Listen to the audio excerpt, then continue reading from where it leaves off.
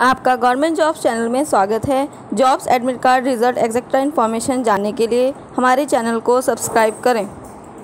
आज हम आपको इस वीडियो में इंफॉर्मेशन प्रोवाइड कराने जा रहे हैं जिम पर रिक्रूटमेंट के बारे में। तो सभी कैंडिडेट्स, आप इसकी रिक्रूटमेंट में कैसे अप्लाई करेंगे? रिक्रूटमेंट में अप्लाई करने के लिए आपकी क्या क्वालिफिकेशंस रिक्वायर्ड है? क्या एप्लीकेशन फ़ीस होगी इसकी? पूरी इन्फॉर्मेशन जानने के लिए आप हमारी इस वीडियो के साथ एंड तक बने रहें। इसकी पूरी जानकारी जानने के लिए चलते हैं हमारी वेबसाइट पे गायत्री जॉब्स डॉट कॉम पर Jawahar institute of post graduate medical education research, अपनी ऑफिशियल वेबसाइट पे जिम पर की रिक्रूटमेंट जारी कर चुका है। तो सभी एंड अवेलेबल्स कैंडिडेट्स आप इसकी रिक्वायरमेंट में अप्लाई करना चाहते हैं तो उसकी लास्ट डेट से पहले अप्लाई कर सकते हैं। इसकी जो लास्ट डेट है अप्लाई करने की, वो थर्टी अगस्त है। एंड जो ऑर्गेनाइजेशन का नाम है Jawahar institute of post graduate medical education research है। एंड जॉब से एडवर्टाइजर है प्रोफेसर और असिस्टेंट प्रोफेसर की है। एंड जो सिलेक्शन प्रोसेस होगा, वो candidate will be selected on the basic of their performance in the personal interview पे।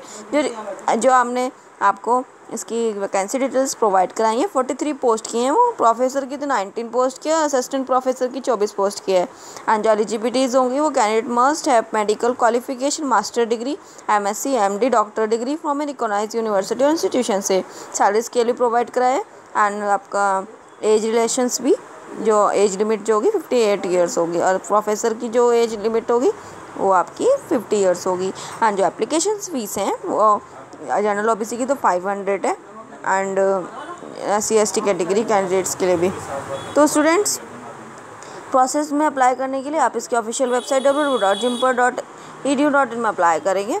एंड uh, हमने इसकी पर्टिकुलर पोजीशन सीनियर रेसिडेंट की इंफॉर्मेशन प्रोवाइड कराई है लेबोरेटरी टेक्निकन की भी। एंड लिंक्स भी दिए हैं लिंक्स में जाके भी आप इसकी रिक्रूटमेंट में अप्लाई कर सकते हैं। तो आप हमारी इस वीडियो को लाइक करें शेयर करें हमारे चैनल को सब्सक्राइब करें। धन्यवाद।